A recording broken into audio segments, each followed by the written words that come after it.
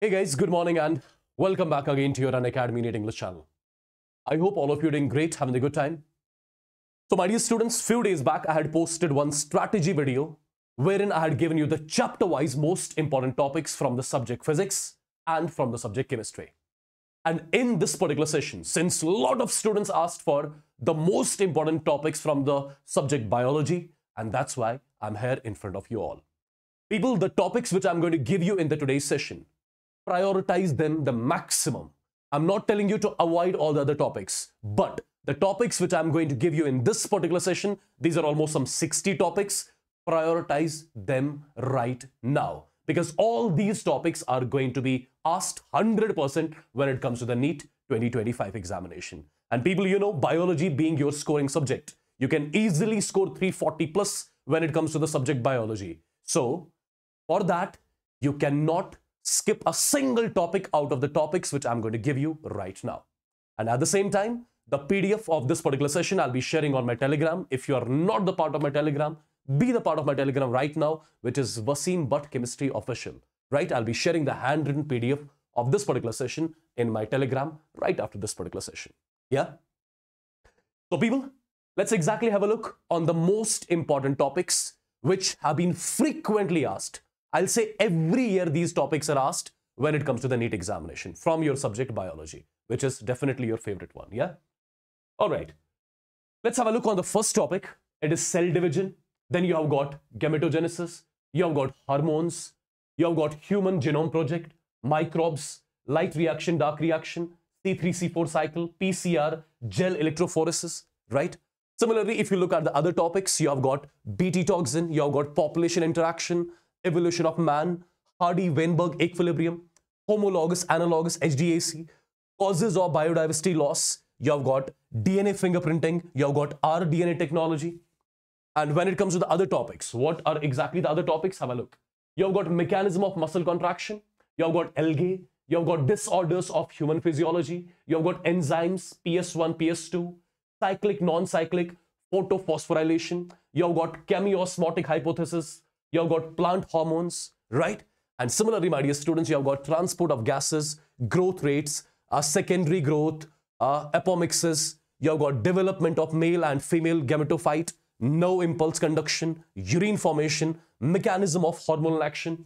And similarly, if you look at the other topics, you have got nodal tissue, cardiac cycle, clotting, blood group, ECG, muscle types, bioreactors, operons, genetic disorders, drugs, immunity, antibodies, ART, contraceptive methods, morphology examples, animal kingdom, RQ value, mechanism of breathing, capacity, ecological pyramids, and similarly, the last ones which are mentioned over here, population growth curves, tissue culture and MOET, DNA structure, mutations, and sex determination. Again, I'm repeating the same thing. These are some 60 topics which are every year asked in your NEET examination. So again, this year also, these topics will be for sure asked. But apart from these topics, whatever topics are left in your biology, I'm again repeating the same thing. Do not skip those topics. I'm just telling you to prioritize these topics at this particular moment. Because my dear students, you know, you just have got some like uh, 55 days, I believe, left for your NEET 2025 examination. And it is the high time to mobilize these 55 days in the proper direction. You should exactly know what to do and what not to do in these upcoming 55 days so as to score really high uh, for your NEET 2025 examination.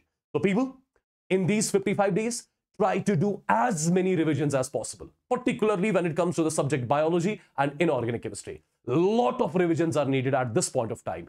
Do not, uh, I mean, do not solve some new questions right now. Okay, just follow the same study material which you have been solving from past one, two years. If you have solved the material once, solve the same material again, solve the same material again. Try to uh, try to write as many mock tests as possible, guys. Because by writing the mock tests only, you'll understand the exam culture, you'll understand your weaknesses, and eventually you'll act upon your weaknesses. Perfect? So try to utilize these 55 days in the proper direction. Perfect? And the ones who have not watched the most important topics of the subject physics and chemistry, you can go into the video section wherein you can check those two videos wherein I have given you the most important topics of your physics and chemistry. Prioritize them also, right? And these are your short, short questions of your biology. Perfect. And prioritize these topics too. Right? So my dear students, this was a quick video which I wanted to make because a lot of students had been, uh, I mean, they, they were texting me from past couple of days Uh, to make a similar kind of video which I had made for physics and chemistry. That's the reason why I'm here in front of you. So I believe you all are going to follow all the things which I told you in this particular session on priority basis. Because again, I'm repeating, if you are going to work hard for these upcoming 55 days, you do not have to work hard throughout your life. But if you are not going to work hard for these 55 days, you'll have to work hard throughout your life. Take care. God bless you all and love you all. Bye-bye.